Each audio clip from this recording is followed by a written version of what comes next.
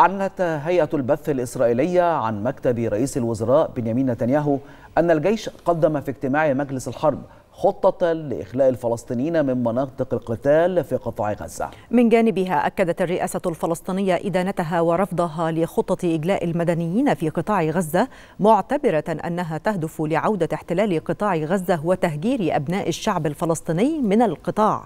وقال المتحدث الرسمي باسم الرئاسة الفلسطينية نبيل أبوردينا إن ما يحدث هو إبادة جماعية بحق أبناء الشعب الفلسطيني مؤكدا أن استمرار العدوان ومحاولات التهجير في غزة والضفة الغربية ستدمر المنطقة بأسرها